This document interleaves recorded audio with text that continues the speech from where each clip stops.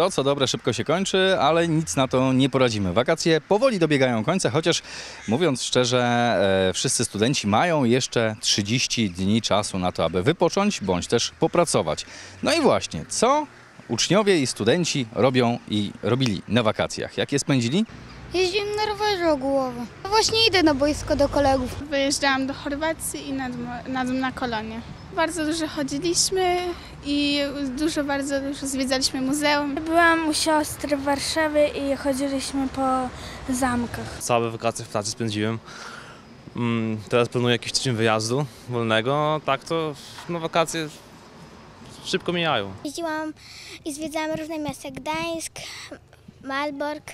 Spędziłem również wakacje za granicą, kąpałem się w morzu w Grecji. Polecam bardzo serdecznie, można tam pojechać, spędzi się przecudowne wakacje, bardzo fajnie jest. Wyjechałem nad morze, na Mazury, ale ogólnie strasznie szybko minęły. Minęły bardzo dobrze, nawet w Turcji byłem przez trzy tygodnie.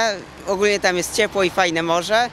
I polecam, ale w Polsce jest znacznie lepiej. Wyjeżdżaliśmy do Norwegii, było bardzo fajnie. Trochę grałem, trochę się bawiłem.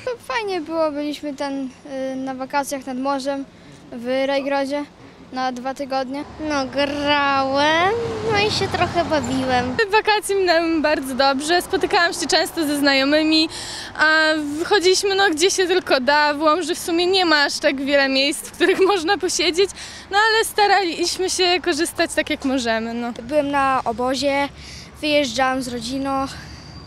No i teraz jeszcze sobie jeżdżę na rowerze. Mi wakacje bardzo szybko minęły. Ogólnie no nie było mnie w Polsce, ale no zrobiłabym sobie na pewno jeszcze dłuższy urlop. Ja byłam w Łodzi u brata i przeważnie w domu. Byłam w Krakowie na Zatorze, bardzo polecam, wspaniałe widoki. Y, Co więcej, Energylandia też, no mnóstwo wrażeń można powiedzieć, ale lęku wysokości się nabawiłam. Wakacje spędziłam aktywnie, było dużo wyjazdów. E, Z siostrą także wyjeżdżałam, czyli e, Kraków, e, w Zatorze byłam, czyli w Energylandii. I tak samo się obawiałam lęku wysokości, no ale jakoś to przezwyciężyłam. I teraz czekam na rozpoczęcie nowego roku szkolnego. A chcecie się wracać do szkoły? E, No myślę, że tak. To na pewno będzie coś ciekawszego niż też takie siedzenie w domu. I na pewno się czegoś nowego nauczę. No tak nie za bardzo, bo teraz klasa maturalna to będzie ciężko na pewno i no ale no niestety taka kolej rzeczy jest. Jak koleżanka powiedziała, zaczyna nam się klasa maturalna i będzie trochę ciężko, ale oby do przodu i żeby szybko to minęło. Nie, nie, kompletnie nie. Nie, jeszcze już teraz rozszerzenia wchodzą w szkole, to już nie. Y, tak, no bo lubię się uczyć. Niekoniecznie. Trochę tak. No tak trochę, ale raczej nie jeszcze.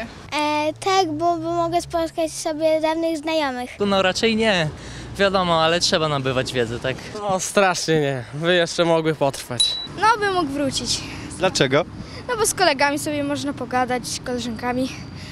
No i się pouczyć trochę. Wakacje trwają w najlepsze. Świadczy o tym fakt, że ciężko było nam znaleźć uczniów i studentów e, na ulicach Łomży. Cieszy fakt, że te wakacje spędzali dość aktywnie, a nie siedząc przed komputerem czy telewizorem.